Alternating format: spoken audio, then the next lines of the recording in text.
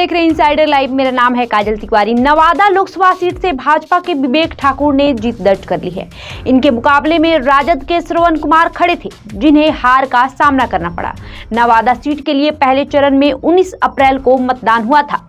नवादा में इस बार राजद सुप्रीमो लालू प्रसाद यादव के प्रयोग ने मुकाबले को त्रिकोणीय बना दिया था। भूमिहार और यादव बहुल लोकसभा क्षेत्र में मुख्य मुकाबला राजद और भाजपा के बीच था। नवादा क्षेत्र में भाजपा के विवेक ठाकुर और राजद के श्रवण कुमार आमने सामने थे।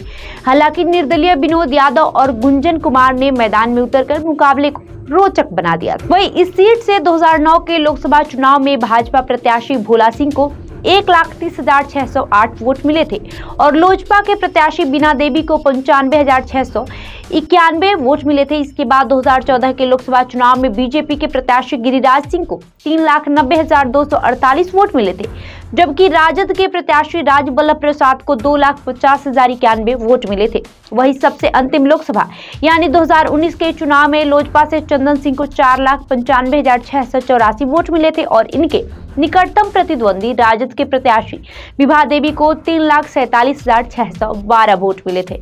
बहरहाल, आपका इस वीडियो पर क्या राय है, हमें कमेंट करके ज़रूर बताएँ। धन्यवाद।